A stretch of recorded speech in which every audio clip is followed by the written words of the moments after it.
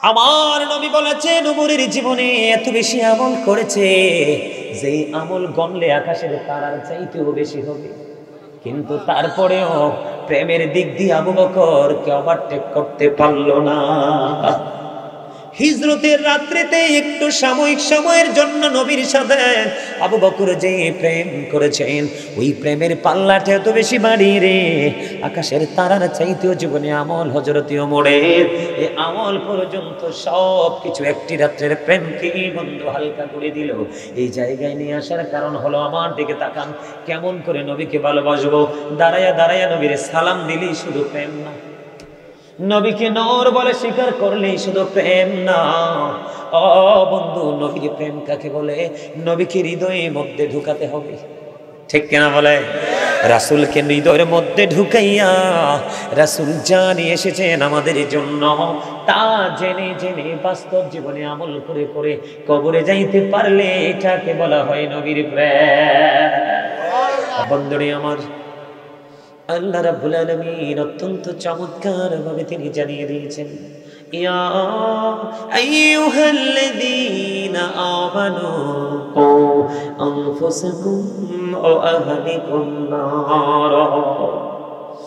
আল্লাহ রাব্বুল আলামিন বন্ধু জানিয়ে দিয়েছে রে ইমানদারকে ডাক দিয়েছেন, কোনো বেঈমানকে নয়, কোনো মুনাফিককে নয়, কোনো মুশরিককে নয়। ও বন্ধু, আল্লাহ রাব্বুল আলামিন ইমানদারকে ডেকে বলেছেন তুমি জাহান্নাম থেকে বাঁচো এবং তোমার আহালকে, তোমার পরিবারকেও তুমি জাহান্নাম থেকে বাঁচাও। বন্ধু, আমি নিজে বাঁচবো এবং আপনাদেরকেও বাঁচাবো। এখন বাঁচতে হলে সর্বপ্রথম আপনাকে হতে হবে ইমানদার। ইমান আনার পরে আপনার সিনাই বন্ধু মজুদ করতে হবে ভয়। জাহান নামের ভয়। আল্লাহ রাব্বুল আলামিন হিসাব চাইবে সেটার ভয়। আল্লাহ রাব্বুল আলামিনের কাছে যেতে হবে রে। আল্লাহর দরবারে বন্ধু হিসাব দিতে হবে। এই ভয় যখন সিনায় আমরা ধারণ করতে পারব তাহলে চিরস্থায়ী সফলতা আমাদের পক্ষে সম্ভব। এখন বলে, হুজুর, আমরা সেই ভয় ভীতি হওয়ার জন্য কোন রাস্তা অবলম্বন করব? আল্লাহ রাব্বুল আলামিন জানিয়ে দিয়েছেন, Allah is all in all follow his law and blind for eternal success Allah রাব্বুল আলামিন জানিয়ে দিয়েছে, ও বন্ধু, আল্লাহ সব কিছুর মালিক। ওয়ালিনল, ঠিক কিনা বলেন? কিন্তু আল্লাহ রাব্বুল আলামিন রহস্য লাগিয়ে দিয়েছে follow his law and light law হলো আইন, আর লাইট হলো নূর, ঠিক কিনা বলেন? বন্ধু, এই যে আপনার এটাকে কি বলেন? লাইট লাইটকে যদি বাংলায় ট্রান্সলেট করি, তাহলে হবে আলো। আমি আলোটাকে যদি আরবিতে করি, তাহলে এটার অর্থ দাঁড়াবে ওয়ার্ড মিনিং হবে নূর। কথা কয় না? নূর কইছি রাগ হইছে? কে কে রাগ হইছে? কেউ না তো। আল্লাহ রাব্বুল আলামিন বলে দিয়েছেন, তোমাদের জন্য পাঠিয়ে দিলাম। ল এন্ড লাইট, ল হলো দা হোলি কোরআন। যালিকাল কিতাবু লা রাইবা ফি। ঠিক কেনা বলেন? আলিফ লাম মিম আছে না নাই? আরও জোরে কন্যা বন্ধু এই আইনকে বোঝার জন্য বন্ধু আইনের ভান্ডার বোঝার জন্য লাগবে একজন আইনের মানুষ। কথা কয় না কেন? লাগবে কিনা সে আইন বোঝার মানুষ। আরেক আল্লাহ রাব্বুল আলামিনের বান্দা এবং রাসূল সরকারি মদিনা। আপনারা আমার প্রাণের নবী এই জন্য আল্লাহ বলেছেন দুটো জিনিস তোমাদের জন্য পাঠিয়ে দিলাম। ল এন্ড লাইট তোমরা দুটোকে আপন করে ধরো তাহলে চিরস্থায়ী সফলতা অর্জন করতে পারবে। ফর এটারনাল সাকসেস সুবহানাল্লাহ কয় না কেন? আর জোরে। সুবহানাল্লাহ। এবার বন্ধু, দুটোর মধ্যে প্রেমটাকে সমন্বয় করে নিতে হবে। এখন আপনার আমার যত আইন, যত বিধান, যত রাস্তা, বন্ধু, আমরা জানতে পেরেছি, যত রাস্তা আমরা বুঝেছি, প্রত্যেকটা রাস্তা আছে রাসূল প্রেমের মধ্যে। হুজুর, কেন কেন গো? কোরআন যখন নাজিল হয়েছে নবী মক্কায়, কোরআন মক্কায়, তখন তো লিখিত এমন লিখিত আকারে আসেনি। নবীর কাছে কোরআন এসেছে উহির জন্য। নবী যদি কোরআন না বসত তাহলে আবু বকরের বোঝা সম্ভব ছিল না। আবু বকর যদি কোরআন না বসত বন্ধু ও বন্ধু গো হজরতে ওমরের পক্ষে কোরআন বোঝা সম্ভব ছিল না। হজরতে ওর ওমর যদি কোরআন না বুঝতো তাহলে এ হজরত উসমান জিন্নাউরাইনটা দিয়াল্লাহু তাআলা আনহুর কোরআন বোঝা সম্ভব ছিল না। হজরতে উসমান জিন্নাউরাইন যদি না বুঝতো রে তাহলে হজরতে আলীর পক্ষে বোঝা সম্ভব ছিল না। ঠিক কিনা বলে এখানে নিয়ে আসার কারণ হলো বন্ধু এখানে নিয়ে আসার কারণ হলো নবীজির কাছে কোরআন লিখিত ছিল না, আবু বকরের কাছে কোরআন লিখিত ছিল না হজরতে ওমর ওমরের কাছেও কোরআন লিখিত ছিল না হজরত উসমানের জামানায় সে কোরআন লিখিত হলো। ধীরে ধীরে আপনার আমার কাছে কোরআন শরীফ হিসাবে একটা কিতাব আমাদের কাছে চলে আসলো, ঠিক কিনা বলেন? বন্ধুরে আমার, তাহলে আমাদেরকে দুটো জিনিস গ্রহণ করতে হবে, কয়টি? ল অ্যান্ড লাইট কোরআন এবং রাসূল। ঠিক কিনা বলেন? এখন বন্ধু কোরআন তো আল্লাহর পক্ষ থেকেই বুঝে নিয়েছে রাসূল। সেই রাসুলের মধ্যে আছে বন্ধু সব রাস্তারে এই জন্য পবিত্র কালামে হাকিমে ইহুদি খ্রিস্টানের একটা ধর্মগ্রন্থ যেটার নাম হলো দ্য ওল্ড ও নিউ টেস্টামেন্ট। এটার মধ্যে তারা বক্তব্য দিয়েছে he that love with not know with not God for God is love আমি কিন্তু ইহুদিদের বক্তব্য দিচ্ছি কার? কথা বলে না। ইহুদিদের বক্তব্য, ও, আমি নবীকে বোঝানোর জন্য, নবীর শান বোঝানোর জন্য, নবীকে যে আপনি, আমি মানতে হবে, বাস্তি যদি হয়, এটা যে আমাদের উপর বাধ্যতামূলক এটা বোঝানোর জন্য।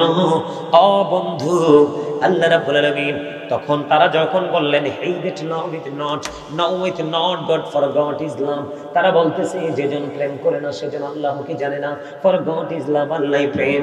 কিন্তু আল্লাহ রাব্বুল আলামিন সঙ্গে সঙ্গে না করে দিল আল্লাহ বলেছেন, নাও, সে বলুন if you do love Allah যদি তোমরা আল্লাহকে ভালোবেসে থাকো ফলো মি সাল্লাল্লাহু আলাইহি ওয়াসাল্লাম, আল্লাহরে পাইতে চাইলে সোজা চলে যাও না মদিনায়।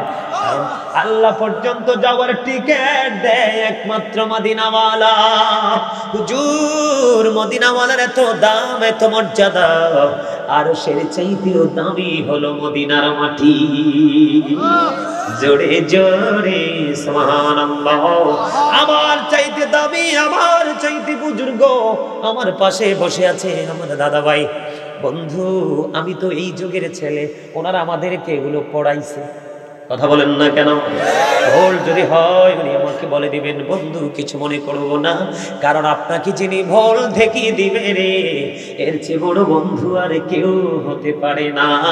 বন্ধু, আপনি অন্যায় করার পরে অ যিনি অন্যায় আপনাকে দেখিয়ে দিবে না, সে কখনোই আপনার বন্ধু হতে পারে না। আমি আপনাদের কাছে ধীরে ধীরে হৃদয় রাজ্যে পৌঁছার চেষ্টা করব। তার কারণ হলো, বন্ধু, হৃদয় পর্যন্ত টাচ করতে না পারলে আমি ব্যর্থ।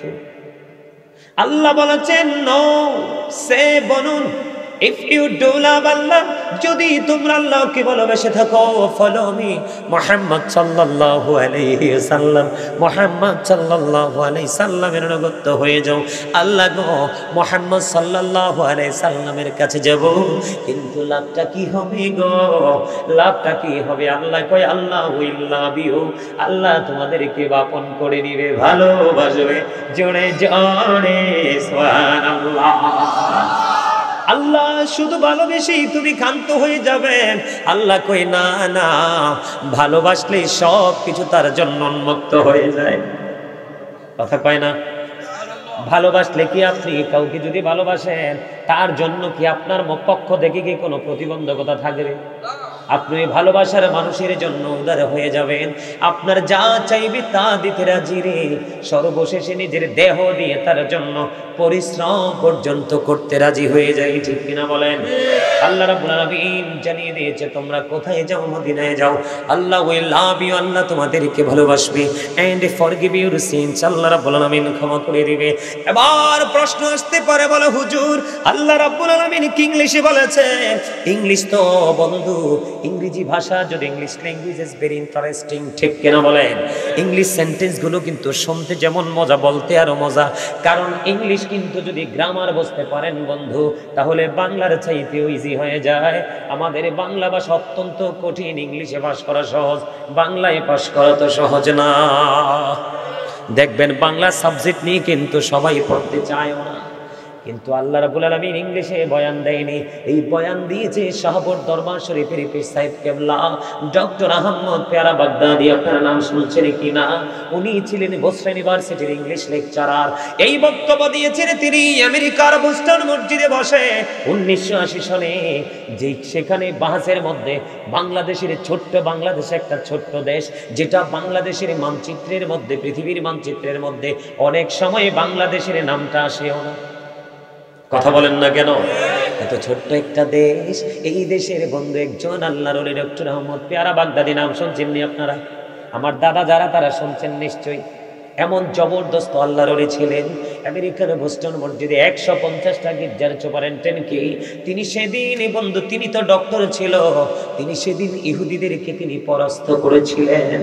আল্লাহ বলতেছে, না না, আল্লাহ বলতেছে ইন কুনতুম তুহিব্বুনাল্লাহ ফাত্তাবিউনি ইউহিব্বুকুমুল্লাহু ওয়া ইয়াগফির লাকুম যুনুবাকুম আল্লাহু রহিম. এবার তো সন্দেহ করার কোনো সুযোগ নাই। আল্লাহ আরও বলেছেন রাসুল কি মানলে আল্লাহ মানা হয়ে যায়। রাসুল প্রেমের মধ্যেই আল্লাহর প্রেম নিমজ্জিত সোমান আল্লাহ বলেন না। এখন রাসুল প্রেম কোনটাকে কয়? এক ব্যক্তি সে প্রশ্ন করল ইয়া রাসূলুল্লাহ ইয়া হাবিবাল্লাহ নবী নবী গো ও প্রাণের নবী। কিয়ামত কখনো হবে গো নবী। একাধিক হাদিস গ্রন্থে হাদিস এসেছে।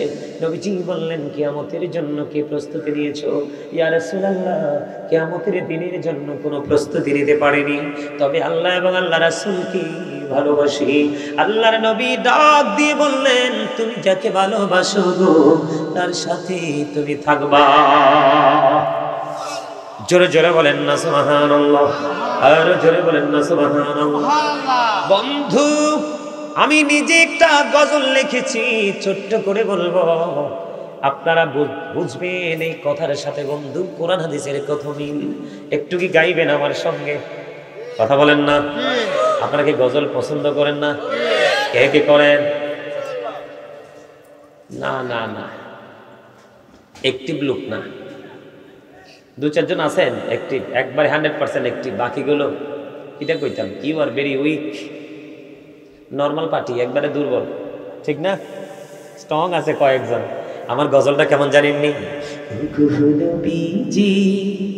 কেমন করে বলো তোমায় দেখি? বিজি কেমন করে বলো তোমায় দেখি? আছো তুমি? ওই মদিনায় আছো তুমি? ওই মদিনা সঙ্গে নিয়ে দুই প্রেমিক সাথী কেমন করি বলো তোমায় দেখি? বলেন নবীজি, কেমন করে বলো তোমায় দেখি? দেখার আশা আমার মনে পুষে রেখেছি আপন করে। বলেন, দেখার আশা বুকে হাত দিয়ে, দেখার আশা আমার মনে পুষে রেখেছি যতন করে। পাই যদি গনবি তোমার দিদার শীতল হবে মোর দুটি আখি। কেমন করে বলো তোমায় দেখি বলিন বিজি কেমন করে বলো তোমায় দেখি। আছো তুমি ওই মদিনায় বলে নাছো তুমি। ওই মদিনা সঙ্গে নিয়ে দুই প্রেমিক সাথী। কেমন করে সবাই বলেন তো নবীজি কেমন করে বলুন তোমায় দেখিনি গজলটা কিন্তু অনেক লম্বা, একটু শোনাইছি আপনাদেরকে। যদি আপনারা আরও একটি হতে পারেন, আরও শোনাবো, কারণ আমি একজন রাইটার আমার এই সিনায় পিঞ্জরে কিন্তু অভাব নাই। আজকে এই রাসুল প্রেমের কারণে হয়তো আল্লাহ আজকে আমাকে তো বড় করেছে। সোহানাল্লাহ বলেন না? আরও জোরে। আরও জোরে। আপনার ইচ্ছা না থাকলেও রাসুলকে ভালোবাসতে? নাহলে নামাজের ট্রেনিং নিবেন থেকে কথা কয় না? ইচ্ছা না থাকলেও প্রাণের নবীকে গ্রহণ করতে হবে নাইলে কোরআন তেলাওয়াত শিখবেন থেকে কথা কয় না কেন?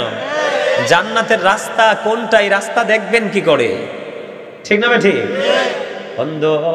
আমার এই গজলটা লেখা মূলত আবু বকর ওমর দুজনকে ঘিরে। সোহানাল্লাহ কয় না? দাদা ভালো লাগছে নিয়ে? আলহামদুলিল্লাহ কইছে আমার দাদা ওমর দুজন প্রথম, দ্বিতীয় সাহাবি তাদেরকে নিয়ে, আমি আজকে আপনাদের সামনে তুলে বন্ধু, তাদের মধ্যে কেমন কম্পিটিশন ছিল? রে নারায়ণকুটি নারায়ণকুড়ি যুব সমাজের মানুষ। ও নারায়ণকুড়ি এই গ্রামের আমার ভাই বাবারা, আমার মা বোনেরা, সবাইকে বলছি, একটু হৃদয় খুলে শোনো। তাহলে হয়তো বা হতে পারে জীবনে চলা রাস্তাটা অনেক সুন্দর। বন্ধু, আসছে সামনে জুমার দিন, রাসুল জানিয়ে দিলেন, হাদিস শরীফ খুলে দেখলাম নবীর প্রেমটা। নবীজি জানিয়ে দিলেন কেউ যদি জুমার দিনে রাসুলকে ভালোবাসিয়া মাত্র আশিবার দরদ পড়ে তাহলে তার আশি বছরের সগিরা গুণ আমার আল্লাহ খুশি হয়ে মাফ করে দেয়। বন্ধু, আমি কোট করে বলছি, আল্লাহর হাবিব জানিয়ে দিলেন, হাদিস খানে এসেছে দাইলানি শরীফের মধ্যে। হাদিসের রাবি হলেন হজরতে আনাস রাদিয়াল্লাহু তাআলা আনহু। আপনার আমার প্রাণের নবী জানিয়ে দিল রে, ওটা শুধু তোমার জন্য জুমার দিনের কারবার, জুমার দিনের আমল। নবীজি জানিয়ে দিলেন কেউ যদি বন্ধু প্রত্যেক দিন নবীকে ভালোবেসে নারী হোক বা পুরুষ হোক যুবক হোক বা যুবতী হোক বৃদ্ধ হোক বা বৃদ্ধ হোক যেই কোয়ালিটির মানুষই হোক না কেন আল্লাহর নবী জানিয়ে দিয়েছেন কেউ যদি নবীকে ভালোবাসিয়া প্রতিদিন এক হাজার বার দৌড় পড়তে পারে রে সে জান্নাত না দেখা পর্যন্ত তার মরণ হবে না। দরুদ পড়া মানে কি? নবীর প্রেম। নবীর ভালোবাসা। অ বন্ধু আপনাদেরকে আমি আরেকটু মজা করে বলি। দেখবেন বর্তমানে অনেক ইমাম সাহেব আছে রাসুল বিদ্বেষী। মুখে যদিও নবীর প্রেমের কথা বলে কিন্তু অন্তরে আদতে তার নবীর প্রেম নাই। বলে হুজুর আপনি কেমনে বুঝলেন? দেখবেন ম্যাক্সিমাম ইমাম সাহেব আসরের আগের সন্ন্যত পড়ে না। আছে না নাই? যারা কন্টিনিউ এশার নামাজ জামাতে পড়েন মসজিদে গিয়ে ম্যাক্সিমাম ইমাম দেখবেন, এশারের আগের চার সন্ন্যত করে না। আমি আপনাদেরকে বলতে চাই, এই নামাজগুলোর মধ্যে কি আছে সেটা আমার জানার দরকার নাই। যেহেতু পঞ্চাশ নামাজ বরাদ্দ ছিল, মৌসা নবী ষষ্ঠ ষষ্ঠ আসমানে মৌসা কালিমুল্লাহর সাথে দিদার হলো। পরামর্শে আল্লাহ রাব্বুল আলামিনের কাছ থেকে পঁয়তাল্লিশ ওয়াক্ত মাইনাস করে পাঁচ ওয়াক্ত নামাজ যে তোমাদের জন্য বরাদ্দ দেওয়া হলো। আল্লাহ দেখে কয়, বন্ধু, আপনার প্রস্তাব আমি প্রত্যাখ্যান করতে পারি না। আবার আমার কথাও আমি দুই রকম করতে পারি না। আমি তো আগেই বলেছি, পঞ্চাশ অক্ত। আপনি আপনার উম্মতকে বাঁচানোর জন্য বরাদ্দ চেয়েছেন, পাঁচ অক্ত বরাদ্দ দিয়ে দিলাম। হাবিবি গো, কিন্তু কথা জানিয়ে দিলাম, আপনার উম্মত যদি সঠিকভাবে করতে পারে, আমি তার আমল নামাই দিয়ে দিব পঞ্চাশ অক্তের ছাওয়া। তাহলে এই নামাজ নিয়ে কি হাঁটি ঠাট্টা করা যায়? কোনো বিদ্রোহ করা যায়? বলে হুজুর এখানে কেন আসলেন? আমি আপনাদেরকে মোটিফাই করে জায়গায় নিয়ে যাওয়ার জন্য বন্ধু। আমার নবীজি আমার নবীজি আমাদেরকে অত্যন্ত সচেতনতার সাথে আমাদেরকে তুলে দিয়ে গেছেন। কতটুকু ফজিলত কতটুকু নিয়ামত কতটুকু বরকত জানার দরকার নেই। আপনি শুধু জানার দরকার এটা ওয়াক্তিয়া নামাজের সাথে যুক্ত। নিশ্চয় এটার পাওয়ার সব নফল ইবাদতের চাইতে অন্যতম। কথা বলেন না কেন? আমার কথাগুলো আপনাদের কাছে কি যুক্তিযুক্ত হয় কিনা? বুঝে আসে কিনা? আরও জোরে বলেন না। বন্ধ, আমার কাছে কমপ্লেন করলেন। গত রাত্রিতে যে মাহফিলে গেলাম, ওখান থেকে এক ভদ্রলোক আমারে বলতেছে, হুজুর, আমি এক মসজিদে নামাজ পড়তে গেলাম। এই কথাগুলো নিয়ে একটু কথা বলবেন গো। কেন গো? নামাজ পড়তে যাওয়ার পরে তিনি এশারের চার রাকাত সুন্নত পড়ার সময় দিল না, জামাত তিনি পড়ে ফেলল। আপনি আমাকে বলে দেন, যেই নামাজটা ওয়াক্তিয়া নামাজের সাথে যুক্ত, যেই সুন্নত নফল, এইটা দামি না, যেটা আমাদের জন্য স্পেশাল সময় আসে, এটা দামি। আমি কই, রীতিমতো রোল হিসাবে প্রতিদিন যেহেতু পাঁচ ওয়াক্ত ফরজ নামাজের সাথে যুক্ত, এটার দামি বেশি। কথা বলেন না কেন? ওই রাত্রি অনুযায়ী নবীজির হাদিস থেকে, এই রাত্রি অনুযায়ী এই রাত্রির এই নফল নামাজের দামটা বেশি। কথা কয় না কেন? এটা তো সময় উপযোগী, ঠিক কিনা বলে এই জন্য বলছি, বন্ধু, প্রেম করতে হলে হান্ড্রেড পার্সেন্ট করতে হবে। আমি আপনাদেরকে যদি বলি কিতাবের মধ্যে এসেছে, প্রেম নিয়ে কথা, কি নিয়ে কথা? আজকের মানুষের দিন দিন বন্ধু হৃদয়টা কঠিন পাথরের মতো হয়ে যায়। বাংলাদেশে অন্য কিছু কম থাকলেও মানুষ কিন্তু কম নাই। কথা কয় না? কোনো এলাকায় কিন্তু মানুষ কম নাই। বন্ধু, এই যেহেতু একটা সময়, এখনও খাবার সময় হলো মাত্র। এখনও মানুষগুলো আসে নাই। শুধু না আসার কারণ হলো দুইটা। এক হলো তাদের সিনায় আছে প্রেমের অভাব। আরেক হলো তাদের যা আছে তা নিয়ে তারা প্রাউড ফিল করে। কথা বুঝেন নাই? মানে তাদের সিনায় তো প্রেম নাই, অন্তরটা মরুভূমির মতো শুকিয়ে আছে। আরেকটা হলো, ছেলে একটা বিদেশ আছে, অথবা দুইটা আছে জায়গা জমে আছে, খাওয়ার মতো পুঁজি আছে, এগুলোই এনাফ আর কিছু লাগবে না। এই ধরনের, কোন ধরনের কুচিন্তা করে তারা ঘরে বসে আছে। এরা কখনোই প্রেমিক না। নবীজি বলেছেন, যারা ইমানদাররা নবীরে ভালোবাসবে মুনাফিকরা কখনোই নবীরে ভালোবাসবে না। বন্ধু, আমি আপনাদেরকে একটু ছোট্ট করে বলি, তারপরে আমি আমার গজলের লেখার কলমের সূত্র ধরে যাব আপনাদের কাছে। সাধু তালেবিন কিতাবের মধ্যে এসেছে, বন্ধু, আপনার আমার প্রাণের নবী। ও বন্ধু, জানিয়ে দিলেন অত্যন্ত চমৎকার খবর। জিব্রাইল আলাইহিস সালাম একটা না ত্রিশ হাজার বছর নফল ইবাদত করল। আল্লাহ ডাক দিয়ে বললেন, জিব্রাইল রে, আমি তো তোমার নফল ইবাদত করার জন্য অর্ডার করি নাই। অরে জিব্রাইল, তুমি কেন রে নফল ইবাদত করলা? একটা না ত্রিশ হাজার বছর। জিব্রাইল আবার একটা ডাক দিয়ে বলে বলি আপনি আমাকে অন্য সকল ফেরেস্তার তুলনায় অনেক সম্মানী করেছেন। ছয়শত ডানা দিয়ে সৃষ্টি করেছেন। এই জন্য আমি শুক্রিয়া স্বরূপ ত্রিশ হাজার বছর নফল নামাজ পড়লাম। আল্লাহ ডাক দিয়ে কয়, জিব্রাইল, তুমি সাক্ষী থাকো। আমি আল্লাহ কথা দিলাম। আমার হাবিবের উম্মতগুলো আমার হাবিবকে মোহাব্বত করে নফল ইবাদত বেশি বেশি করবে রে আমি আল্লাহ কথা দিলাম। তাদেরকে অদ্বিতীয় জান্নাত দিয়ে আমি পুরস্কৃত করব। বলে, হুজুর, জান্নাত এবার আপনাদেরকে আমি একটা জায়গা নিয়ে যেতে চাই, যাবেননি? আল্লাহ নাম লিখতে হরফ লাগে চারটা, আলিফ, লাম লাম, হা। একটার উপর নিচেও কোনো নক্তা নাই। নবীজির নাম মোবারক লিখতে মিম, হা, মিম, দাল, হরফ কয়টা? এই চারটার উপরে নিচে কোনো নক্তা নাই। তাহলে চারে চারে কত হলো? বন্ধু, তোমরা রহস্য জানো না। আল্লাহ রাব্বুল আলামিন জান্নাত বানাইছে আটটা আল্লাহ এবং আল্লাহর হাবিবের সাথে প্রেমের ডুরি লাগাইয়া আল্লাহ বলে বান্দা আমি সুখের জায়গা চিরস্থায়ী তোমাদের জন্য একটা বরাদ্দ দিলাম।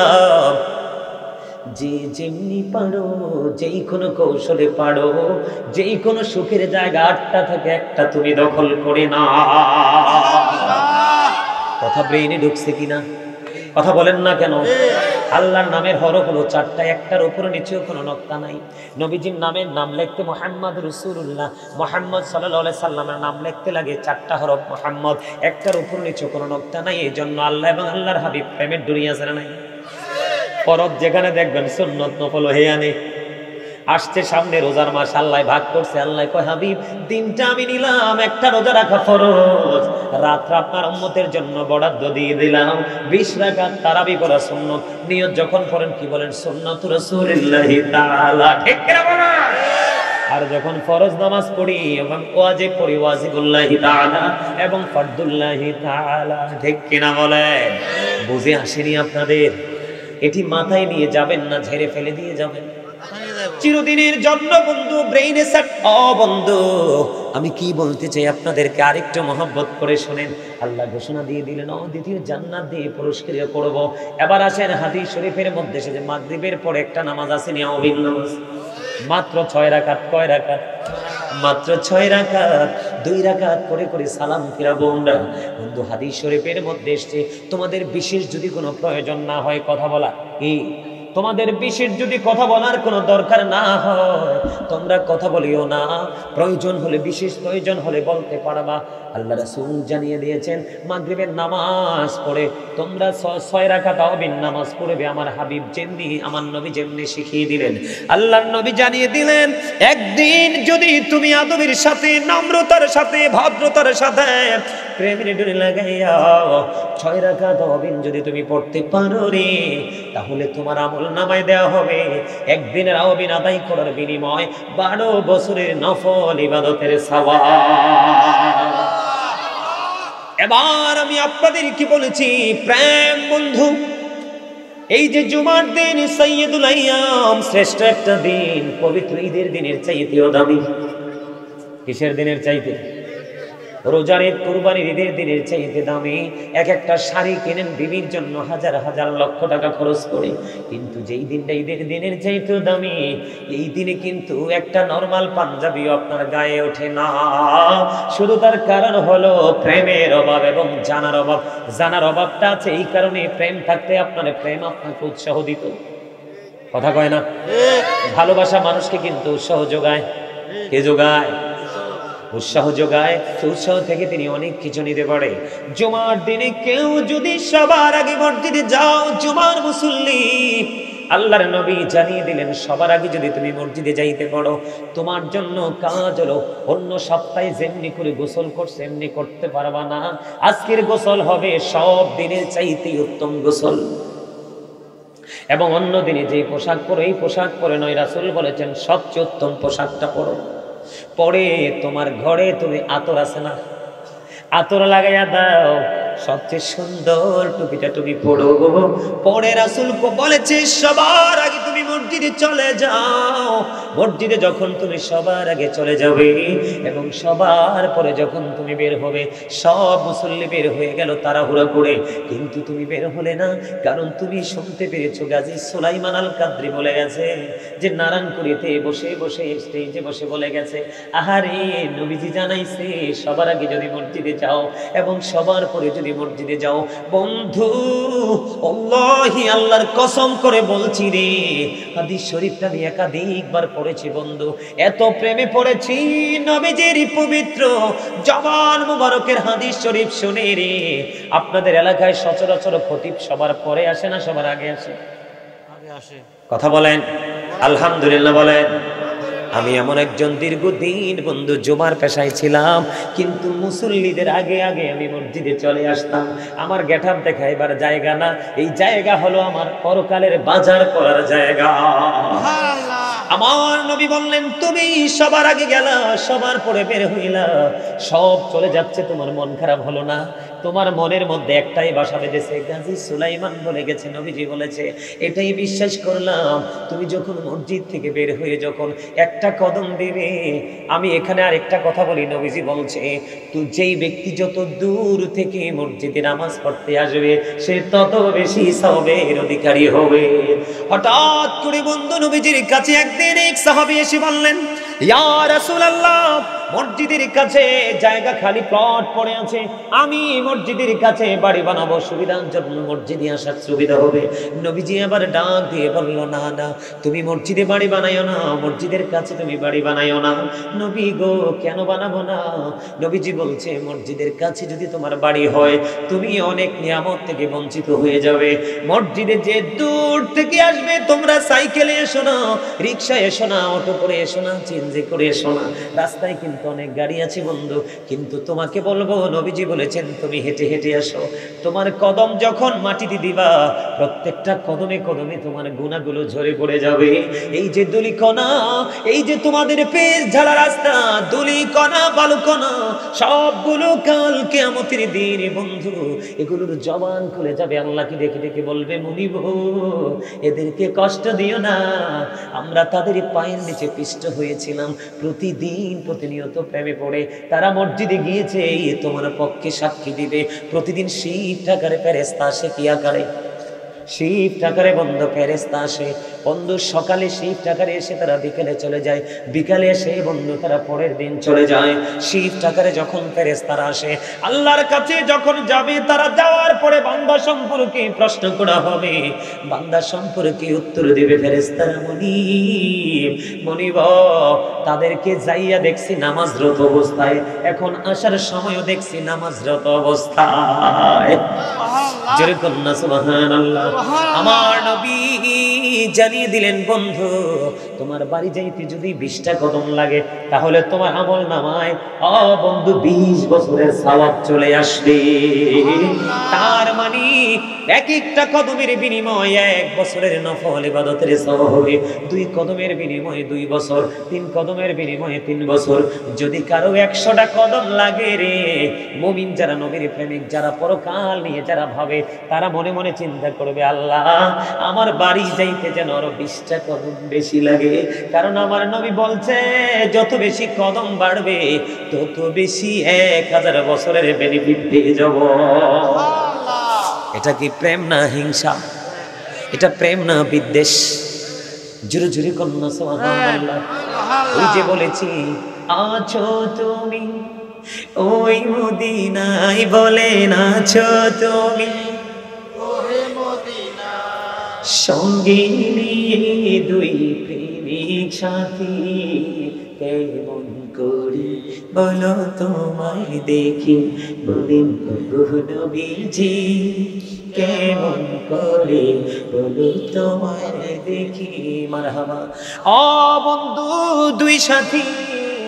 এই, আমার হিসুন দি বন যাইতো নইন্দি জায়গা আছে আম দিয়ে আমার পিছনে বইয়া দুষ্টামি করবা, হাসবাই সুযোগ নাই। এ পাগলা আমার আগাই আনছে। হাতটা ধরে দিয়ে ঠান্ডা বরফ হয়ে গেছে। আলহামদুলিল্লাহ।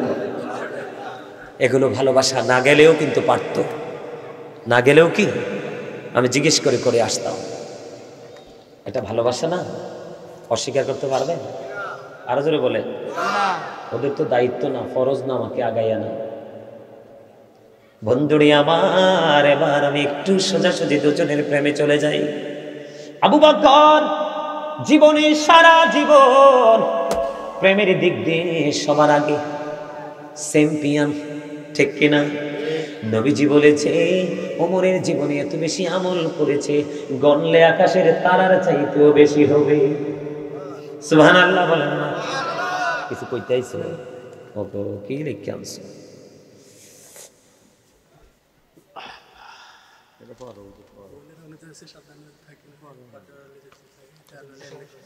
আচ্ছা এই না মন কিন্তু হাদিয়া তো লাগবে। কি? রাগ হইছে? হ্যাঁ? আমি যেটা নিজে থেকে গামো, এটার কোনো হাদিয়া নাই, কিন্তু অনুরোধ থাকলে হাদিয়া লাগবো। সবে তো হাসতেও পারে না আপনার লোক। হ্যাঁ সা দুর্বল হার্ট অ্যাটাক করে মরবে।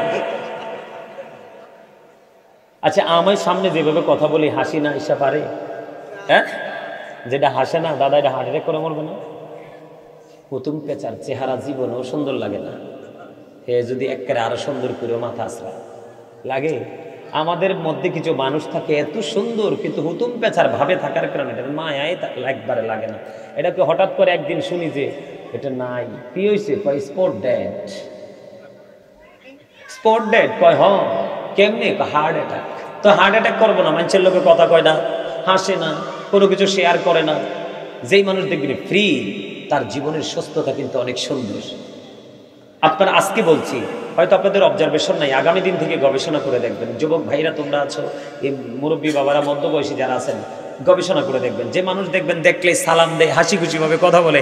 এই মানুষের জীবন মানটা কিন্তু খুব সুন্দর। যদিও সে শাক দিয়ে ভাত খায় নর্মাল মোটা ভাত খায়, মোটা কাপড় পরে, তারপরেও কিন্তু তার জীবনে সুস্থি থাকে।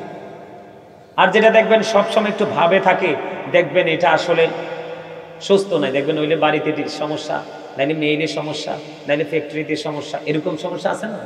যে শুধু তার এক ঘোরামির কারণে।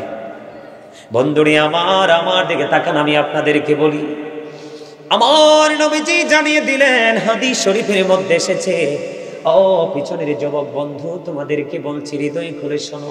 তোমরা কেউ একজন আরেকজনের সাথে কথা বলে তোমরা মনোযোগ নষ্ট করো না। এই জান্নাতের বাগানে আসলেই নিয়ামত, যাইলে বের হয়ে যাওয়ার সময়ও নেয়ামত। এখানে বসে গোলামি করলাম, বাইরের দিকে কদম দিলাম গুনা গুলে ঝরতেই থাকবে। জোরে জোরে সুবহানাল্লাহ। আমার নবী বলেছে নবুরের জীবনে এত বেশি আমল করেছে যে আমল গণলে আকাশের তারার চাইতেও বেশি হবে। কিন্তু তারপরেও প্রেমের দিক দিয়ে আবু কে ওভারটেক করতে পারল না।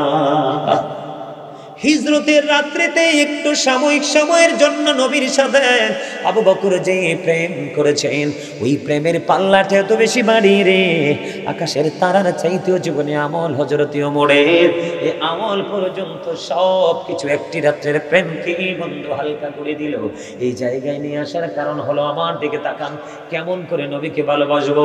দাঁড়াইয়া দাঁড়াইয়া নবীর সালাম দিলেই শুধু প্রেম না নবীকে নর বলে স্বীকার করলেই শুধু প্রেম না। ও বন্ধু, নবীকে প্রেম কাকে বলে? নবীকে হৃদয়ের মধ্যে ঢুকাতে হবে। ঠিক কেনা বলে? রাসুলকে হৃদয়ের মধ্যে ঢুকাইয়া রাসুল জানি এসেছেন, আমাদের জন্য তা জেনে জেনে বাস্তব জীবনে আমল করে করে কবরে যাইতে পারলে এটাকে বলা হয় নবীর কথা বলেন না কেন? আমি আপনাদেরকে কোথায় নিয়ে যাচ্ছি বন্ধু? হাত জোর করে বলছি, একটু ধৈর্য ধরে শোনেন। আমি জানি আপনারা অনেক বেশি মহব্বত করেন, ভালোবাসেন। এই জন্য আমি সেকেন্ড টাইম আপনাদের সামনে আসছি। দ্বিতীয়বার সহজে কোনো বক্তাকে দাওয়াত দেওয়া হয় না। আমি মনে করি এটা আপনাদের আমার প্রতি একটা রেসপেক্ট তো আমিও আপনাদের কাছে দ্বিতীয়বার আসার কারণে আপনাদের প্রতি আমার হৃদয়ে ভালোবাসা অনেক বেশি বেড়ে গেল। কালকে যখন মাহফিল থেকে আসতেছি, ওই মাহফিলে আমি গতকালকের মাহফিল সহ চতুর্থবার। কয়বার? মানুষ দেখলে কল্পনা করতে পারবেন না। এটা এটা কটার সময় করে প্যান্ডেলটা? মনে হয় চার থেকে পাঁচটার সমান হবে প্যান্ডেল, মানুষ লোকারণ্য। এর মধ্যে সবচেয়ে বেশি দেখা গেল এদের মতো যুবক। আমি যখন স্টেজ থেকে নামলাম, নামার পরে পিছন দিকে ঝাঁক বাদা বাদা যুবক পিছনে পিছনে বলে, হুজুর গো, আমাদের জন্য দোয়া করবেন। আমি তাদেরকে বলে দিলাম, তোমরা সবাই আমার বন্ধু। কেন? এই জন্য বললাম, একে একে চার, চারবার তোমাদের মাঝে আসলাম, তোমাদের কোনো বিরক্তি নেই। তোমাদের যতই আসলাম, ততই তোমাদের আগ্রহ বাড়ছে। তাহলে বোঝা যায় তোমাদের চেয়ে আর প্রিয় বন্ধু আর কেউ হতে পারে না। আমি যখন বললাম, তোমরা আমার বন্ধু, তারা মুস্কি হাসি দিয়েছে, মিষ্টি হাসি দিয়েছে, সন্তুষ্ট হয়েছে। বন্ধু, দেখেন, প্রেম কত বড় অমূল্য সম্পদ। আবু বকর জীবনে প্রেমের দিক দিয়ে নবীর ক্ষেত্রে, আল্লাহর ক্ষেত্রে চ্যাম্পিয়ন একদিন হজরতে ওমর মনে মনে বলতেছেন, জীবনে কোনোদিন আবু বকরকে হারাতে পারলাম না। দেখেন, নবীজিকে নবীজির প্রেম, নবীজির আদেশ নির্দেশের প্রতি তাদের কেমন প্রেম? দেখবেন, বুঝে নেবেন বন্ধু, নবীজি বললেন, কিছু দান করার জন্য। দান করার জন্য যখন বলল হজরতে ওমর বলতেছেন ওই সময় আমার কাছে বালু সম্পদ আছে, বালু দৌলত আছে। নিশ্চয়ই আমার মতো আবু বকরের কাছে নাই। আমি আজকে দান করব, আজকে আমি আবু বকরকে অতিক্রম করব। প্রেমের দিক দিয়ে আজকের জন্য হলে আমি শীর্ষস্থানে আসব। এবার বন্ধু, আমার দিকে তাকান, ক্যামেরার দিকে লাইয়া সাইয়া লাভ নাই রে শুকনা স্বাস্থ্য ভাই। আকাশি কালার পাঞ্জাবি। আমি কিন্তু তোরে শুরুর থেকে দেখছি, তুই একটু দুষ্ট। টুপিটা যদি থাকতো, তাইলে তো দুষ্টামি তুই করতি না। কারণ টুপি হলো আমাদের জন্য প্রেমের এক নিদর্শন। ঠিক না বেটি? আমি কিন্তু সুযোগ করছি স্বাস্থ্য বেটার ধরনের লেগে দেখি তার মুখটা বন্ধ হয় না তো খালি আসে। প্রেমের খবর, কিসের খবর? সিরিয়াসলি কিন্তু বলছি, বন্ধ হাদিস শরীফ। ওমর বলতেছেন জীবনে কোনোদিন আবু বকরকে হারাতে পারলাম না। আজকে আমি আবু বকরকে হারাবো। আজকের দিনের জন্য দানের ক্ষেত্রে আবু বকরকে ওভারটেক করে আমি শীর্ষস্থানে যাব। বন্ধু, দেখেন প্রেম কেমন রে। এবার কি করলেন? তারা কি করলেন? দান নিয়ে রাসুলের কাছে হাজির হলেন। কি হলেন? নবজির কাছে হাজির হলো। সর্বপ্রথম আগে আসছেন হজরতে অমর অমর যখন সামনে আসলো রে, এবার ওমর সামনে আসার পরে নবীজি বললেন, নবীজির কাছে তাদের দান তুলে দিলেন। নবীজি হজরতে ওমরকে প্রশ্ন করল, ওমর তুমি এইখানে নিয়ে এসেছ সম্পদ কয়? আর আল্লাহ নিয়ে এসেছি। তোমার ফ্যামিলি পরিবারের জন্য কি রেখে এসেছ? এবার হজরতে ওমর একটা ডাক দিয়ে বললেন, ইয়া রাসূলুল্লাহ, ইয়া হাবিবাল্লাহ, নবী গো প্রাণীর নবী গ, আমার যে দৌলত ছিল, আমি অর্ধাংশ মানে অর্ধেক নিয়ে এসেছি আপনার কাছে। আর অর্ধেক রেখে এসেছি আমি আমার ফ্যামিলি পরিবারের জন্য। এবার ওমর চলে গেলেন আবু বকর, আসলেন। আবু বকর আসার পরে নবীজির পবিত্র হাত মোবারকে দান তুলে দিলেন। নবীজি প্রশ্ন করল, আবু আবু বকর, তুমি কত কি রেখে এসেছ তোমার ফ্যামিলি পরিবারের জন্য? এবার আবু বকর একটা ডাক দিয়ে বললেন, ইয়া রাসূলুল্লাহ ইয়া হাবিবাল্লাহ নবী নবী গো, ও নবী, আমার যেইটুকু ছিল আমি সবটুকু নিয়ে আসছি। তুমি ফ্যামিলি পরিবারের জন্য কি রেখে এসেছ? একটা টান দিয়ে বললেন, নবী গো, আমি আমার ফ্যামিলির জন্য আল্লাহ এবং আল্লাহর হাবিবকে রেখে আসছি। আরে আরও বলেন সুবহানাল্লাহ। কেমন লাগল? অত্যন্ত প্রেমময় না অত্যন্ত মধুময় না এবার উমরের মাথা নষ্ট হয়ে গেল। আল্লাহ, জীবনে মনে হয় কোনো দিন আবু বকরকে হারাতে পারব না। ভেবেছিলাম নবীর প্রেমের কম্পিটিশনে আজকে আমি শীর্ষস্থানে যাব, কিন্তু পারলাম না। আমার মনে হয় জীবনে কোনোদিন পারব না। আমি আপনাদেরকে আবু বকরের প্রেমের একটা আরেকটা খবর দিব, বন্ধু, আপনার একটু মন দিয়ে শুনুন। বন্ধুরি আমার, আবু বকর যেমন তেমন রাসুল প্রেমিক, তিনি ছিলেন না। ওনার মূল উদ্দেশ্য ছিল রাসুলকে রাজি, রাসুল রাজি হইলে আল্লাহ রাজি। আপনার আমার ঘরে পাঞ্জাবি থাকার পরেও পাঞ্জাবি পরে নিয়ে আপনারা লজ্জাবোধ করবেন না। এই যে দেখেন, সুন্দর মোটা করে একটা লুক। টুপি ছাড়া আমার কালো বাইটার পেছনে সুন্দর একটা মুরব্বী মানুষ, আমার চাইতে মুরব্বী। দেখেন কত সুন্দর তার পরনের পাঞ্জাবিটা, কত সুন্দর তার গায়ের কটিটা, আর কত সুন্দর পক্কা তার মাথার টুপিটা। কেন বললাম? অ বন্ধু, আমরা তো আজকে জান্নাতের মেহমান। আমরা সাধারণ কোনো জলসায় আসি না। এটা আমাদের অবহেলা। এই অবহেলার কারণে অনেক সন্না ছুটে যাচ্ছে। কি হচ্ছে? আমাদের মধ্য থেকে রাসুল প্রেম চলে যাচ্ছে। অনেকেই কিন্তু দৌড় এসেছেন তারা হুড়ো করে এসেছেন, হুজুর আলোচনা শুরু করে দিয়েছে। আমি এটাকে দোষ বলছি না আমাদের উদাসীনতার কথা বলছি? জান্নাতের বাগানে যখন আসবেন, অন্য দিনের মতো হবেন না। আপনি তো জান্নাতের মেহমান, আল্লাহর মেহমান হয়ে আসছেন। এই জন্য মসজিদে যখন যাবেন বন্ধু জিন্স প্যান্ট পরবেন না, ছোট্ট করে একটু বলব নি। কারণ আবু বকরের প্রেমের সাথে এটা যুক্ত এই জন্য একটু বলতে চাই। আল্লাহ কোরআনে বলেছেন এই যে আমার লগে একটা বইছে, আগে তারার দেহাই খারাপ? স্ট্যান্ড আপ এই যে আমার দিকে তাকান পাঞ্জাবিটা আমি একটু আলগি দেই না, বেশি দিলে সরম পাইব। এটা কি এটা কি জিন্স প্যান্ট কিনা, হাসবেন না। প্র্যাকটিক্যাল প্র্যাকটিক্যাল পরীক্ষা দেন নাই, জীবনে পড়াশোনা করেন নাই। তোমরা পড়াশোনা করে এন তো বাংলাদেশে লেখাপড়ায় নাই, ফলান শিখব কি? এই জন্য তো ফলাফাইন গর্দ হয়ে যাচ্ছে। এটা কি প্যান্ট জিন্স প্যান্ট কি প্যান্ট যুবক সিরিয়াসলি নিবা। কিছু মনে করো না, এটা তোমাদের জন্য শিক্ষা। আল্লাহ বলতেছেন আল্লাহ বলতেছে, ইমানদারদের জন্য, ইমানদার পুরুষের জন্য পোশাকের পোশাক পরা ফরজ। আর এই পরশটা হলো আমার দিকে সবাই তাকান। উপর দিয়ে থাকতে হবে নাবি বরাবর অথবা উপরে। আর নিচের দিক দিয়ে থাকতে হবে এই টাকনোর উপরে। এখন তোমরা যে আমার আমার এই ছোট ভাই যে প্যান্টটা পরলো, তার প্যান্টটা উপরে না নিচে আমি জানি না, নবীর দিক দিয়ে। তবে ম্যাক্সিমাম প্যান্ট তিন থেকে চার আঙ্গুল নাবির নিচে থাকে। জিন্স প্যান্টটা যখন পরা হয় এটা হারাম টোটাল মুসলমানের জন্য এটা পোশাক বৈধ নয়। কারণ এটা বিদুর্মীরা আবিষ্কার করেছে তোমাদের লজ্জাস্থানকে ওপেন করে দিয়েছে। কারণ যার লজ্জা থাকবে না তার ইমান থাকবে না। যার লজ্জা নাই তার ইমান নাই। যার ইমান নাই তার আমলেরও কোনো দাম নাই।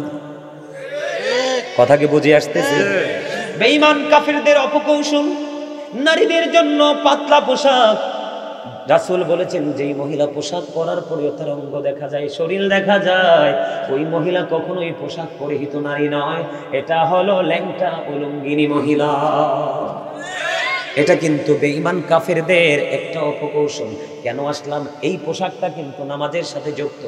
তোমরা হুটহাট করে নামাজে চলে যাও। আল্লাহর নবী নামাজ পড়তেছেন আল্লাহ নবী মসজিদে দাঁড়িয়েছেন। হঠাৎ করে একজন নামাজে গিয়ে নিয়ত বাঁধলেন। নবীজি বললেন, তুমি নামাজ ভেঙ্গে নামাজ ভেঙ্গ না, তুমি অজু করে এসো। তার মানে নিয়ত যেহেতু ভাঙছে নিয়ত তো ভাঙতে হবে।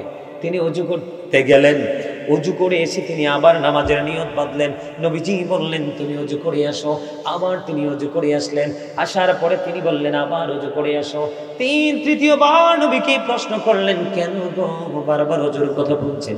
নবীজি বলতেছে, সেই যে পোশাকটা পরেছে, এই পোশাকটা টাকনোর নিচে চলে গেছে। এটা শরীয়তের সীমা লঙ্ঘন করেছে। আল্লাহ যে অর্ডার করেছেন সেই অর্ডারটাকে ওভারটেক করেছে। এই পোশাক পরে নামাজ পড়লে কোনোদিন আল্লাহর দরবারে কবুল হবে না। আবু বকর একটা ডাক দিয়ে বললেন, ইয়া রাসূলুল্লাহ, আমি সব সময় আমার পোশাকটা নবীর উপরে রেখে পড়ি গো, টাকনার উপরে রেখে পড়ি। নবী গো, আমার মনের অজান্তে এটা একটু লুজ হয়ে নিচের দিকে চলে আসে। নবী গো, আমি কি সাজার অন্তর্ভুক্ত হব? দেখেন, সাহাবীদের কোনো ভয় আসেনি। কথা কোন, তাদের কোনো ভয় আছে? নবীজি সঙ্গে নিয়ে জান জান রওজা মোবারকে জান্নাতে ঘুমাই রয়েছে হয়েছে না? হাদিস শরীফের মধ্যে এসছে, নবীজি একদিন হজরতি আবু বকরকে হাতে ধরলো হজরতি ওমরকে হাতে ধরলেন দুজন কি দুই হাত মোবারকে ধরে ধরে মসজিদের দিকে যায়। আর নবীজির পবিত্র জবান মোবারক থেকে পবিত্র বাণী শুধু বের হচ্ছে নন স্টপলি নবীজি বলতেছে, তোমরা দেখো রে, আজকে দুজন যেমনি করে আমার সঙ্গে এই জান্নাতে বাইতুল্লাতে ঢুকেছে। কাল হাসুরের দিনও আমি দুজনকে এমনি করে ধরে ধরে তাদেরকে নিয়ে জান্নাতে যাব। কেমনে দামি হইল যুবক? একটু বুঝে নাও, জীবনে বহুত হাসি খুশি করেছ। আসার সিরিয়াল থাকলেও যাওয়ারও কোনো সিরিয়াল নাই। এই জন্য যেতে যেহেতু হবে। আল্লাহ বলেছে, তোমরা আসার পরে কিন্তু তোমাদের অবস্থা খারাপ হয়ে যাবে। আল্লাহ বলতেছেন ইন্নাবত সরব বিজ্ঞান সাদির আল্লাহ বলতেছেন the switching off Allah is difficult Allah বলতেছে, আল্লাহ বান্দাকে খুব শক্তভাবে ধরবে। আল্লাহ বলতেছে আল্লাহ বলতেছেন, Allah is quick to take account Allah হিসাব গ্রহণে অত্যন্ত তৎপর। বন্ধু ধরবে খুব শক্তভাবে, হিসাব নিবে শক্তভাবে। হিসাব যদি দিতে না পারো, তোমার কবর হয়ে যাবে অত্যন্ত ভয়ঙ্কর জাহান্নাম। আল্লাহ ডেকে ডেকে বলে, জাহান্নামি যারা হয়ে যাবা, উপায় খুঁজে পাবা না। আল্লাহ বলে, লা ইয়ামুতু people will not die dead সেদিন মরতে পারবা না। আল্লাহ বলে, ফিহা ওয়ালা ইয়াহইয়া people will not be able to life dead সেদিন বাঁচতেও পারবা না।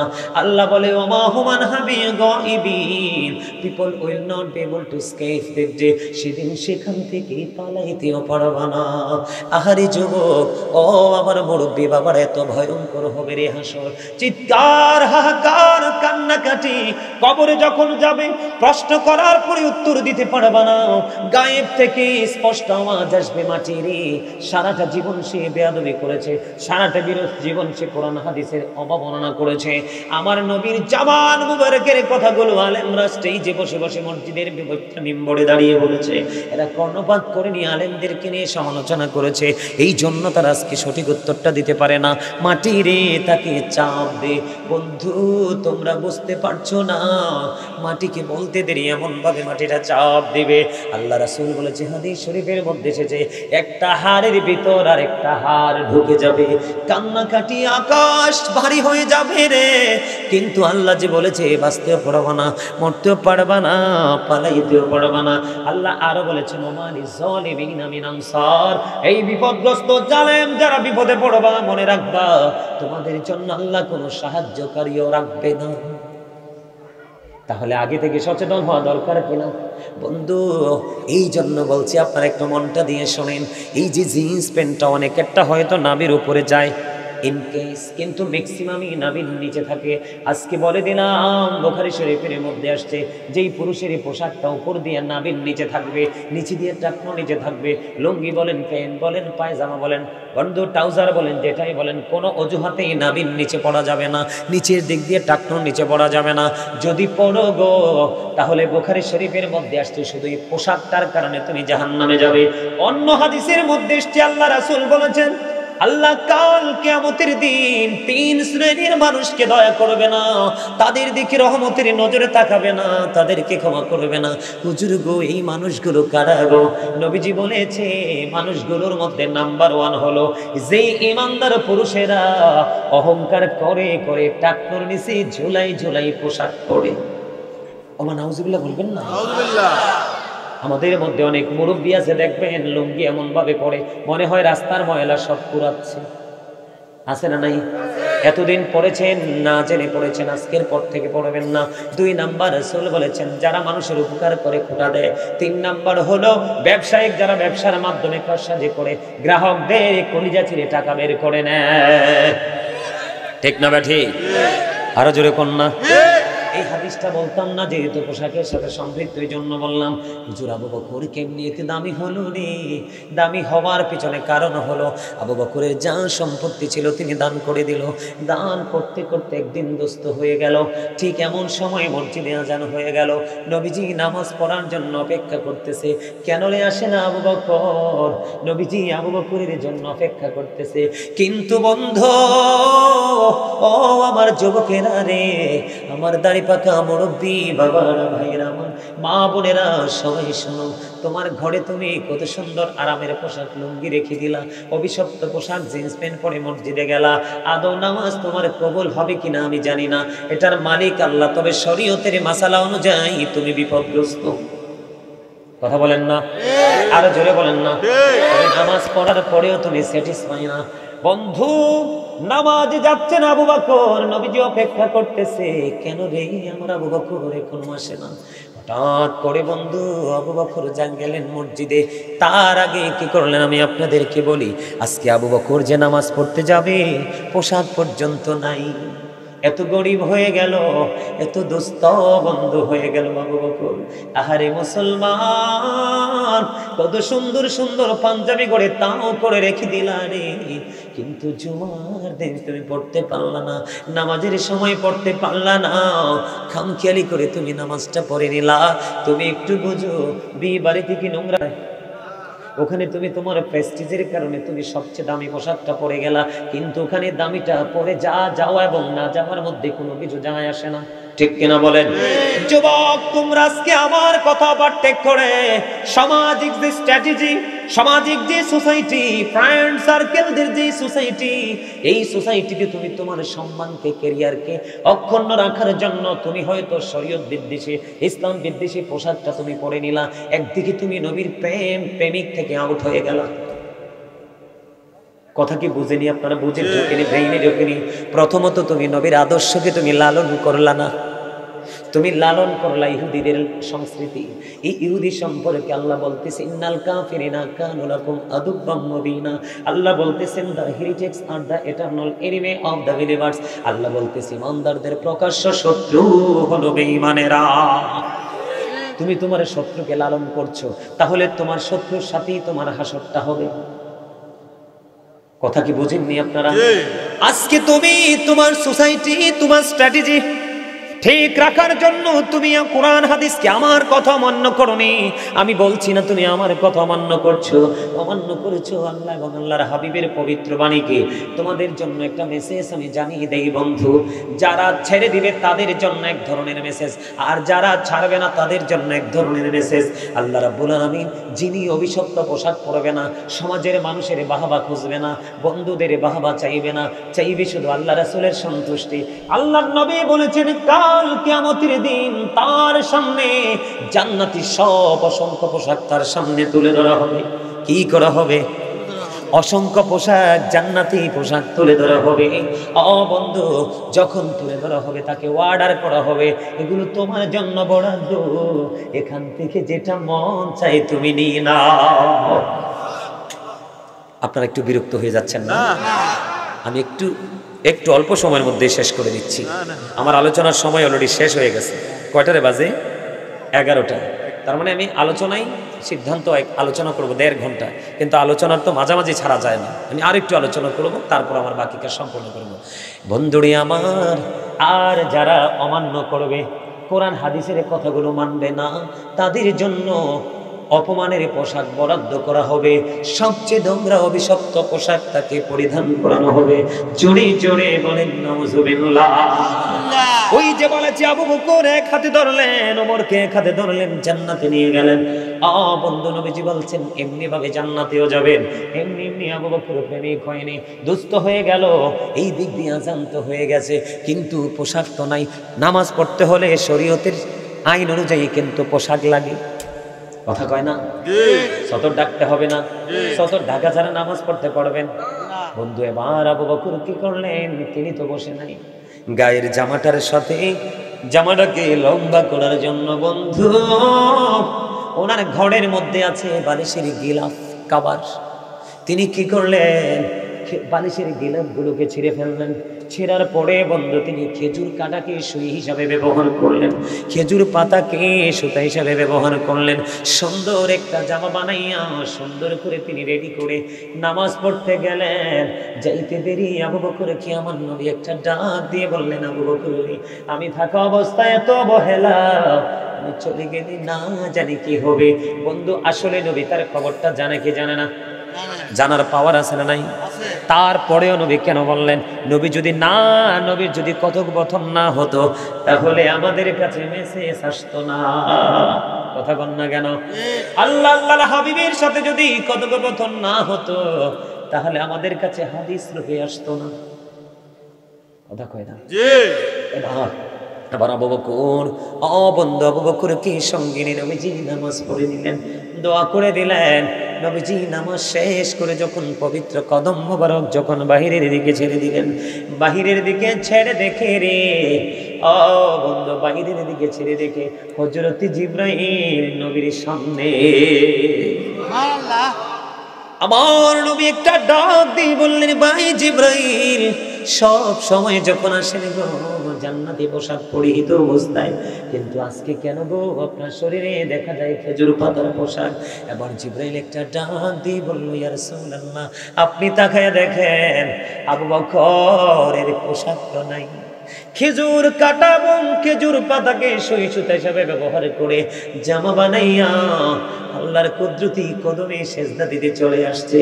কিন্তু তারপরেও নামাজ ছাড়ল না।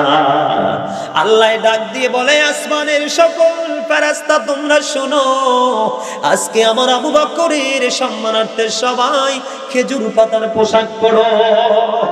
জিবরাইল দেখে নাকি বলে ইয়া রাসূলুল্লাহ ইয়া হাবিবাল্লাহ নবী গো ও প্রাণের নবী আল্লাহ এটা বলে শুধু ক্ষান্ত নয় আল্লাহর জানিয়ে দিয়েছে আজকে কেউ যদি আবু বকরের প্রেমে খেজুর পাতার পোশাক পরতে যদি নারাজি পোষণ করো আমি ফেরেশতাদের দপ্তর থেকে পর্যন্ত নামাইতে বাধ্য হব। কি বুঝলেন? আর আপনি আমি অবহেলায় অবজ্ঞা করে করে কত নামাজ ছেড়ে দিই। যদিও কেউ নামাজ পড়তে যাই যা পরনে আছে তা নিয়ে মসজিদে ঢুকে যাই ঠিক কিনা বলে? একটু সচেতন হওয়া দরকার। যেহেতু মরতে হবে কবরে যেতে হবে ঠিক না ঠিক বন্ধুরে আমার, আরও মজার হাদিস আপনার আমার সামনে রয়েছে বন্ধু। আবু বকর, ওমর, একদিন নবীজি সাহবাই কেরামদেরকে প্রশ্ন করলেন, আজকে কে রে রোজা রেখেছো? আবু বকর হাত তুললেন, ইয়া রাসূলুল্লাহ, আমি রোজা রেখেছি। আমার নবী বলেছেন, আজকে কে রে জানা যায় শরীক হয়েছ? আমার নবী আবার বন্ধু হাত তুলেছে আবু বকর। ডেকে ডেকে বলে, ইয়া রাসূলুল্লাহ, আমি জানা যায় অংশগ্রহণ করেছি। বুঝে নেন কেমন করে রে নবীওয়ালা হয়। নবীওয়ালা হইলে আল্লাহ বলা হয়ে যায়। এবার আমার নবী আর একটা প্রশ্ন করল, আজকে কে রে মিসকিনকে খাওয়াইছো? এবার আবার আবু বকর হাত তুললেন, ইয়া রাসূলুল্লাহ, আমি গো মিসকিনকে খাওয়াইছি। এবার আমার নবী একটা ডাক দিয়ে বললেন, তোমাদের মধ্যে কে রে আজকে অসুস্থ মানুষের সেবা করেছ। এবার আবার আবু বকর হাতটা তুললেন। হাতটা তুলে বলে আমি অসুস্থ রোগীর সেবা করেছি। চারটা প্রশ্ন করলেন নবী হাদিস শরীফের মধ্যে এসছে কয়টা প্রশ্ন? চারটা প্রশ্ন করলেন চারটা প্রশ্নের উত্তর সঠিক দিলেন না হজরতে আবু বকর। এবার আমার নবীজি একটা ডাক দিয়ে বললেন, এই চারটা গুণ যার মধ্যে পেয়েছি, যার মধ্যে চারটা গুণ আছে সে জান্নাতি, তার ঠিকানা হলো জান্নাত। নবীজি জীবিত থাকতে হাদিস বর্ণনা করেছেন, ঠিক কিনা বলেন? বলে, হুজুর নবীজি এখন কি, জিন্দা না এখনও জিন্দাও তবে ও তখন তো ছিলেন আপনার, আমার মাঝে প্র্যাকটিক্যাল আমরা হয়তো দেখিনি। আমাদের মতো তৎকালীন যারা ছিল, তারা সবাই দেখছে না? বন্ধু, এখনও নবীজি জিন্দা। ওই হাদিসের সাথে বাস্তবতার মিল আছে না নাই? নবীজির রওজা মোবারকই হলো জান্নাত। ওই জান্নাতের পাশে শুয়ে আছেন নবীজির পাশে হযরত এবার আমি আপনাদেরকে বলি, আমরা কেমন প্রেমিক, কেমন সুন্নি বন্ধু, কেমন রাসূল প্রেমিক বাড়ির ঘাটায় একজন মরে যায় জানা যায় যায় না। কথা কন না। ও বন্ধু আমরা জানা যায় গেলে ও তার জন্য দোয়া করে আসি না আমাদের কাজ বেশি। কিন্তু মনে রাখবেন আজকে আপনি তার সাথে যেমন আচরণ করবেন আপনি চলে যাওয়ার পরেও আচরণটা ঠিক তেমনই হবে। ঠিক না ঠিক বন্ধুরে আমার এবার আসেন তিনি বললেন কে রে রোজা রাখছো? রোজা রাখলে লাভ না লস? আরও জোরে গন সোয়া হয় না গুণা হয়? সবে বরাতের একটি রোজা যে রেখেছে আমার নবী বলেছেন তাকে কখনোই জাহান নামের আগুন স্পর্শ করবে না। তাহলে রোজা রাখলে লাভ না লস? ফরজ রোজা রাখলে আরও বেশি লাভ? কথা কয় না? বন্ধু সবচেয়ে বড় মজার জায়গা হলো, নবীজি একটা প্রশ্ন করলেন, অসুস্থকে কে সেবা করেছ? এবার আবু বকর হাত তুললেন, অসুস্থ মানুষের সেবা করার ফজিলত কি জানেননি? জানেন না জানেন না, জানার চেষ্টাও করেন না। আমার নবীজি বলেছেন, কেউ যদি সকালবেলা কোনো রোগীকে দেখতে যায়, তার সাথে তার তার অবস্থা দেখার জন্য যাই। নবীজি জানিয়ে দিলেন, যতক্ষণ না পর্যন্ত সে তার ঘরে ফিরে না আসলো, যদি এই ঘর বা এই ঘর হয়, অথবা এই বাড়ি বা ওই বাড়ি হয়, এক ডিস্ট্রিক্ট থেকে আরেক ডিস্ট্রিক্টে হয় ডাকা থেকে নাঙ্গলকোট হয়, চোদ্দ গ্রাম হয়। নবীজি বললেন, সে ঘরতে বের হয়েছে রুগী দেখার জন্য, রুগীর জন্য একটু ফল ফট নিয়ে যাওয়ার জন্য। বাড়ি গিয়ে কি করবে? চামচ দিয়ে রুগীকে একটু খাইয়ে দেবে। আহারে, আপন মানুষ, চলে যাওয়ার পথে এত প্রিয় মানুষ একবার যদি চলে যায় আর তো ফিরে আসে না। এই চিন্তা করে যাবে। নবীজি জানিয়ে দিলেন তুমি যদি সকালবেলা যাও বিকেল পর্যন্ত যদি ফিরে না আসো। নবীজি বললেন তুমি যতক্ষণ না পর্যন্ত ঘরে ফিরে না আসবা ততক্ষণ তিনি তুমি জান্নাতি ফল কুড়াইছো। মানাল্লাহ বলেন না। আরও জোরে বলেন সুবহানাল্লাহ। তাহলে এগুলাতে ফজিলত আছে না নাই? এগুলো করার নাম হলো প্রেম। এগুলো ছেড়ে দেওয়ার নাম হলো বন্ধু। দুশ্মনী। ঠিক না? আমাদের মধ্যে যে মিসকিন আছে না নাই? কথা কয় না? মানুষকে খাওয়াইলে লাভ না লস। আপনাদের দেশে ফতুয়া দেওয়ার মতো আসেনি মানুষ মরলে খাওয়ান যায় না। বেদাত এরকম কয়। এই পণ্ডিতগুলোর কথা শুনলেন না এরা অবার পণ্ডিত। কথা কয় না? আল্লাহ রাসুল কয় আল্লাহর কাছে দুটো কাজ বেশি পছন্দ কয়টা? একটা হলো পরিচিত হোক অপরিচিত হোক মুসলমানকে দেখলে সালাম দিয়ে দিবা। দ্বিতীয়ত হলো যারে খাওয়াইবা পেটটা ভরে খাওয়াই দিও। সুবহান আল্লাহ একদিন নবীজির কাছে মেহমান আসলো। আসার পরে নবীজি বিবিদের ঘরে খবর পাঠালেন কিছু আছে কিনা? এবার বিবিরা একজনের পর একজন খবর পাঠালেন রাসুলের কাছে নবী গো আল্লাহি আল্লাহর কসম করে বলছি গো আমাদের ঘরে শুধু পানি ছাড়া আর কিছুই নাই। বন্ধু পানি দিয়ে কি মেহমান খাওয়ানো যায়? আবার আস্তে আস্তে করে কয়েকজনকে প্রশ্ন করলেন তোমাদের মধ্যে কেউ কি আছো? মেহমানটার মেহমানদানি করবা। এক হঠাৎ করে এক আনসারি সাহাবি দাঁড়িয়ে গেলেন, ইয়া রাসূলুল্লাহ, আমি তার মেহমানদারি করব।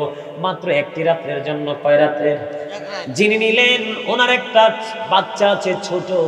শুধু ওনার ঘরেও বন্ধ, শুধু বাচ্চার খাবারটা আছে। উনি বাড়ি চলে গেলেন, যাইয়া বিবিকে ডাক দিয়ে বললেন, বিবি রে ও বিবি, তুমি আজকে বাচ্চাটাকে সন্ধ্যা হলে প্রদীপটা নিবাইয়া বাচ্চাটাকে ঘুম পাড়াইয়া দিও। আমার সাথে মেহমান আছে, আজকে মেহমানদারি খাতিরদারি করতে হবে। নবীর কাছ থেকে চাইয়া তাকে আনছি আপ্যায়নের জন্য। বিবিকে যেমন বলেছে, তেমন বিবি কাজটা করলেন। বন্ধু কাজটা করলেন, বাচ্চাটাকে ঘুম পাড়িয়ে দিলেন। অ বন্ধু, বাচ্চার খাবারটা, মেহমানটাকে খাওয়াই দিল। এবার দিন রাত্রটা পার হয়ে গেল, সকাল যখন হলো। এবার নবীজির দিকে যখন যায়, ওই আনসারি সাহাবিকে দেখে নবীজি শুধু মিষ্টি মিষ্টি হাসি দেয়। এবার যখন কাছে গেল কাছে যাওয়ার পরে বন্ধ প্রশ্ন করল, ইয়া রাসূলুল্লাহ, নবী গো, আপনার চেহারা মোবারকে মিষ্টি হাসি ফুটিয়েছে, তার কারণটা কি? এবার নবীজি বললেন, তুমি গত রজনীতে মেহমানের যে যে ব্যবহার করেছ, এই ব্যবহারে আমার মালিক অনেক বেশি খুশি হয়েছে। এই খবর শুনেছি, এই জন্য আমি নবী তোমাকে দেখে মিষ্টি হাসি দিয়ে দিয়েছি। আপনারা দাদাভাই যারা আছেন, আপনারা আগে যে রোল মডেল ছিলেন, যে রোলস মেনেছেন, যেমনি নামাজ পড়েছেন, যেমনি দান করেছেন, যেমনি মানুষকে নিয়ে চলেছেন, ঠিক তেমনি চলবেন, উনিশ বিশ এক মিনিটও হবেন না। আপনার সামনে যদি এক দশজন মুফতি এসে ফতোয়া দেয়, তাদের কথা মানবেন না। বলে, হুজুর, কেন গো মানবো না? আপনারা আগে ধারাবাহিকভাবে যেমনি আমল করেছেন, ঠিক এমনি বলবেন। বেদাত বললে ভয় পাবেন একজন হলো ধনী। দুজন সম্পর্কে দুটো সেন্টেন্স ইউজ করব কিনা? The rich are not always happy ধনীরা সবসময় সুখী নয়। The poor are born to suffer গরিবরা জন্মগ্রহণ করেছে এ দুঃখ ভোগের জন্য। এখন এই গরিবরা যে দুঃখটা ভোগ করে, সাফারটা করে, এই সাফারটা কার পক্ষ থেকে আসে? আরে না। এই সাফারটা আল্লাহর পক্ষ থেকে আইব কিন্তু। আপনার আমার সমাজের বড় লোক থেকে আসে। কোথেকে আসে? কথা কয় না। আরও জোরে। আপনি আমি যেটা দেখি আপনি আমি যেটা দেখি এটা কার পক্ষ থেকে হয়? সমাজে দরিদ্র মানুষগুলো নির্যাতন কার পক্ষ থেকে আসে? নির্যাতিত হয়? যারা ধনী তাদের থেকে না? কথা কয় না কেউ ডাইরেক্ট কেউ ইনডাইরেক্ট আপনারা টিভিতে দেখেন না বড় বড় গ্রুপের মালিকরা এক গ্রুপ আরেক গ্রুপে মারে। এক গ্রুপের দল আরেক গ্রুপ নিয়ে বন্দি করে গুম করে করে না কিনা? বলে হুজুর হুট করে এখানে আসলেন কেন? আচরণ বিধি বুঝানোর জন্য। আমার আসুন বলে দিলেন, ধনী মানুষ যিনি দশতলা ভবন বানাবেন, পাশের এক গন্ডার প্লট হলো আরেকজন গরিবের। আল্লাহর নবী শিখাই দিয়েছে, দেখেন ইসলাম কত সুন্দর, নবীর প্রেম কত প্রেমময়, নবীর প্রেম বন্ধু কত মধু নবীজি বললেন, তুমি দশতলার বাড়িটা বানাইবা, বাড়িটা ড্রয়িং ট্রয়িং তুমি প্ল্যান সব কিছু পাস করে ফেলেছো, এখন তুমি বাড়ি বানাইতে হলে তুমি তোমার পাশের গরিবের সাথে একটু পরামর্শ করে নিও। সুবহানাল্লাহ কর না? আরও জোরে। কি করে নিও? তোমার পাশের গরিবটি উস্টা মেরে জায়গাটা দখল করে পুরোটা বাড়ি না তোমার পাশের যে দরিদ্র লোক তার সাথে তুমি একটা সিম্পল বই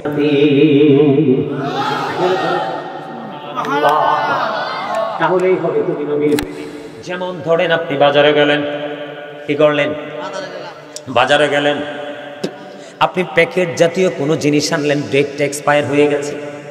আছেন এরকম? যেমন একদিন আমি জানি না আরও বহুত আগে।